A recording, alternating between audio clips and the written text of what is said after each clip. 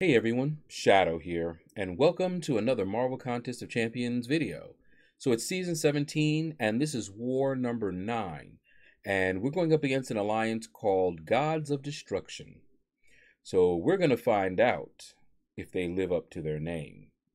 Now, if you've been following my Alliance War videos, you know that I take Path 1, and I bring Gladiator Hulk, who I recently ranked to 5, and he is king of this path. Now, you'll notice that they did not place a defender on that first node. That is common. Uh, you don't want to waste your best defenders on this path, especially if you know folks can bring a Gladiator Hulk. So we're fighting against this Blade. And I remember when Blade gave me a little bit of difficulty on some nodes. But on this path, it's all Gladiator Hulk. And as you can see here, Gladiator Hulk not having any problem. Uh, this path is Starburst. If you are unfamiliar with that, it does a passive degen, and it activates Hulk's Face Me. When Hulk has Face Me active, he heals instantly 70% of the damage dealt, and he deals a lot more damage. So we got done with our path, and you'll see that mini there is Thing, but it's also on Psychic Thorns. So one of my alliance mates who takes that path always brings a champion to take that uh, mini boss, and it's just easier to have him go ahead and take it. Now, normally, I do not take any of these minis here, but you'll see that there's a Korg over there. And I just so happen to have brought Omega Red.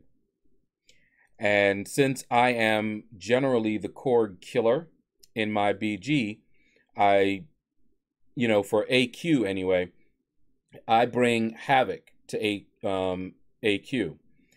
And Havoc destroys Korg every time, no problems.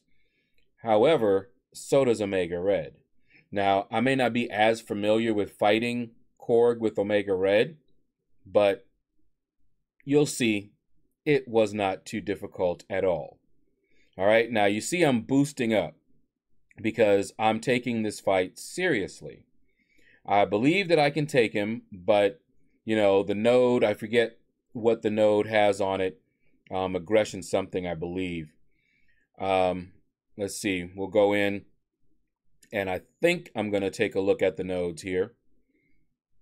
See, what do we got? Yeah. So they have flow. It's aggression armor. All right. So not too difficult uh, to deal with. You want to be aggressive so they don't build up that armor, especially on Korg. All right. So you'll see what I'm doing here.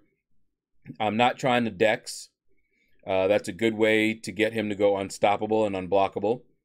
All right, so you see here I'm intercepting, shattered it. Now I'm going to bait out a special two. All right, there we go. And then I go back in, do as much damage as I can. Uh, while his rock shield is down, I can parry him, no problem. I fire off a special two to get that death field back up. Uh, so this Omega Red is my six star, and I took him to rank two. And you'll notice that he's not awakened but I'm not having any difficulty. So whether he needs to be awakened or not depends on if you're running suicides. I'm running suicides. He does not need to be awakened. As you can see here, no problems whatsoever. All right, I have no regrets, zero regrets taking him to rank two, uh, unawakened. Now, if I can get him um, awakened, and get some SIG levels on him, uh, he would be a candidate for rank three. Uh, unfortunately, his prestige is not that great, so I might have to take someone else up for prestige, but you can see he's tearing it up. And that's an unawakened rank two. Now, I know some people disagree with me.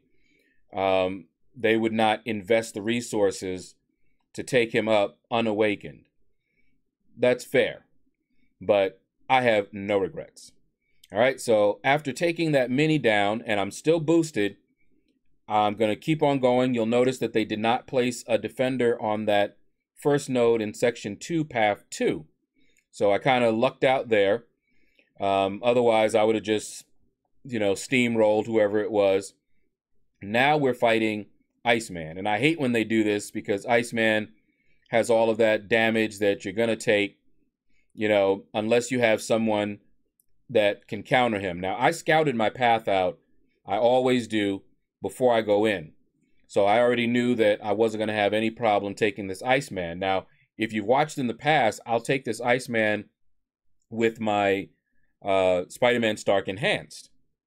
This time, I decided to just go ahead and continue using Omega Red. Uh, Omega Red can heal a little bit, where my stealth, uh, my Stark Enhanced Spider-Man cannot.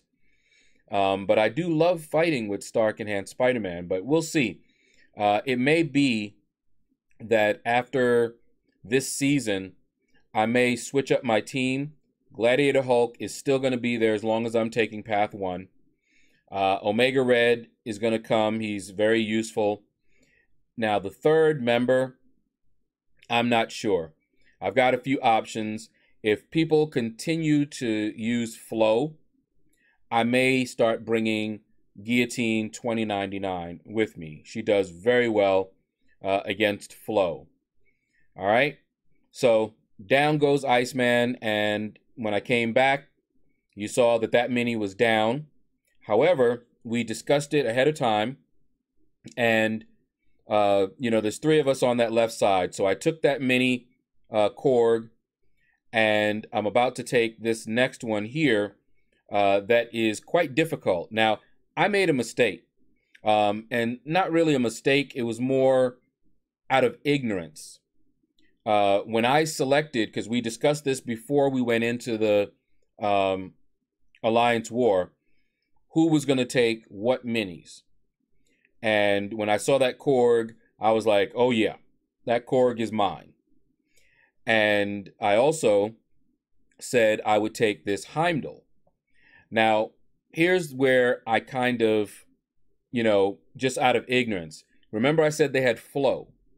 Now, I don't know if you're familiar with how flow works, but if you are a control champion, which means you have the hashtag control in your tags, then when you get a crit against them, they gain power.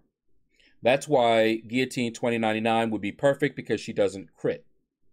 So it kind of it just negates that altogether. But anyone that crits against a control champion is going to have to deal with their power. So when I selected this one, uh, I was thinking, all right, it's a you know special one lock. You see there, special lock one, and I'm like, okay, we should be good. You know, there's the uh, defense tactics flow. All right, now you see here, I did not know and I kind of glanced at it very briefly, but I didn't realize that Heimdall uh, had that hashtag. So I was taking just an extra precaution here by popping in that invulnerability boost. And you're going to see that came in very handy. All right, so we go up against him here. All right, and we're going in. Things are looking good here. All right, um, I'm going slow, trying to do the heavies. All right, he got True Strike up. I fired a heavy off, got rid of the True Strike, and we're doing well. But I'm noticing his power gain. You see his power gain going up. That's flow. All right. Every time you crit, they get a power gain for, um, I think, what is it, 10 seconds or something like that. All right. And you see I'm backed against the wall now. All right. I'm trying to fight my way out, but it's hard because of flow and he, you know, Omega Red doesn't have any power control. All right, so you see here, boom, one indestructible charge gone. I'm trying to evade, boom, second indestructible charge gone. Only one left, boom. Now, no indestructible charges left. Okay, finally, I got to evade uh, his uh, attacks and got out of that corner. All right, and here we go with that special two that I do not know how to deal with. And I'm back in the corner. He is just ripping me up. So I'm backing up. I'm trying to get out of this corner here. All right. And there he goes. He's got a special two. All right. We got him. Another special two. Bam. And I'm just like, oh my goodness. Am I just going to get wrecked here? So I'm fighting. I'm fighting off the wall. Here we go. Trying to get a little bit of health back.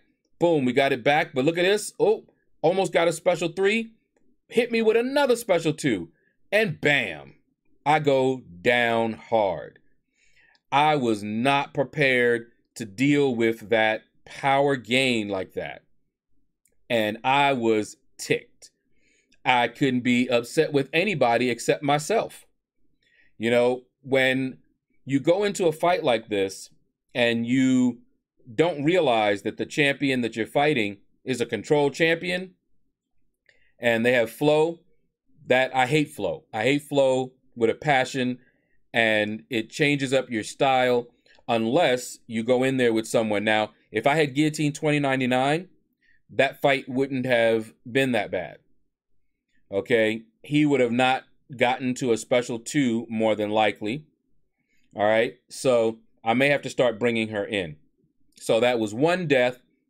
I was able to take the mini down, but then I died. And I hate dying. I hate it with a passion. But um, we kept going, and I was asked for another mini. Okay. We were trying to take about two minis a piece if we could, if there's someone that we feel comfortable with. Now, that's a debuff immune node, but it's magic. And that is difficult unless you have uh, the right champions for that because she's going to be getting limbo like crazy because magic is a controlled champion and you add flow on top of that, she's going to be getting a lot of power. And so her limbo more than likely is going to just keep going off. And so uh, one of our guys, uh, he got limbo to death. I mean, he did the best he could, and he just got limbo to death. So you see here uh, how much health he was able to get off of her uh, before limbo killed him. But I'm going in with Gladiator Hulk. He is made to deal with magic. So I want you to watch. When she gets limbo, I want you to watch uh, Gladiator Hulk's health. Okay? So he debuff immune, so I can't stun her. All right, there's limbo. Look at his health. He's instantly healing 70% of that limbo damage. Okay? Now, even though she can't be stunned, I can fire off a special one and prevent her from healing back her health from the limbo. Right there, I did a special two, which has a little bit of power control on it. You know, for a little bit of time, uh, very, very short, you can hit her and she won't gain any power. So it puts that innervate on her. All right, but you see here, she's getting all that limbo. But even though it's hurting, somebody else would have gone down more than likely by this time. But Hope, he's healing it up like a champ. Okay? You see, I'm just backing off a little bit. And what helped a lot in this fight is that they had suicides. It would not have saved them if they had placed without suicides. It would have just made the fight go a little bit longer. That's all. Um, all right. But you see here, we're doing it. All right. I'm backing off here because once I saw that they had suicides, I started just baiting out specials. And she was really free with specials. Once I got her down low enough, that I felt that the special three would get her, then I hit her with that special three. Hulk smash. All right, so that's going to do it for my participation. Let's find out how we did in this war.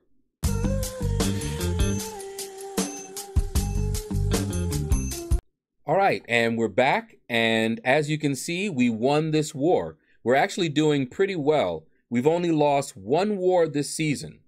And we are making a push for platinum.